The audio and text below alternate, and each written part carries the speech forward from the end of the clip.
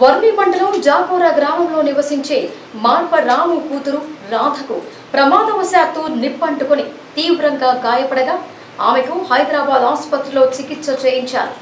రాముది పేద కుటుంబం కావటంతో శ్రీ లక్ష్మీ చేయూత సేవా సంస్థ స్పందించి పదివేల రూపాయలు ఆర్థిక సాయం అందించింది. సంస్థ అధ్యక్షులు వంగల రమణాచారి లక్ష్మణ్ వేణుగోపాలరావు మల్లికార్జున్ రవీందర్ శ్రీధర్ పాల్గొన్నారు. అందరికీ నమస్కారం. మేము శ్రీ లక్ష్మీ చేత సేవా సమితి నిజామాబాద్ నుంచి వర్ణి మండలం జాకోర గ్రామానికి ఒక సేవా కార్యక్రమం కొరకు రావడం జరిగింది.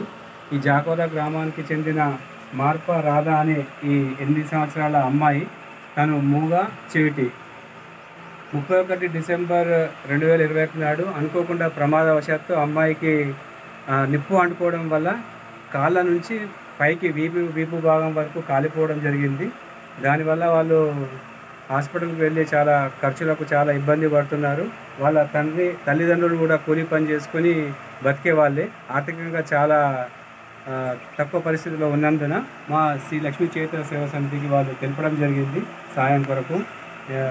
దాన్ని తెలుసుకొని మేము ఇక్కడ వెంటనే వచ్చేసి వాళ్ళకు వైద్య ఖర్చులకు కానీ నిత్యావసరాలు కానీ ఉపయోగపడుతున్న ఉద్దేశంతో ఈరోజు తనకు వాళ్ళ తల్లిదండ్రులకు పదివేల రూపాయలు మేము ఆర్థిక సాయాన్ని ఈరోజు అందించడం జరిగింది. నగరవాసులకు నమస్కారం.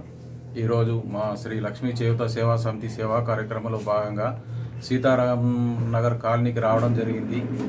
ఇక్కడ కస్పే సత్తమ్మ అనే వృద్ధురాలికి డెబ్బై సంవత్సరాల వృద్ధురాలికి గర్భసంచికి పుండై కిడ్నీలకు వాపు రావడం జరిగింది.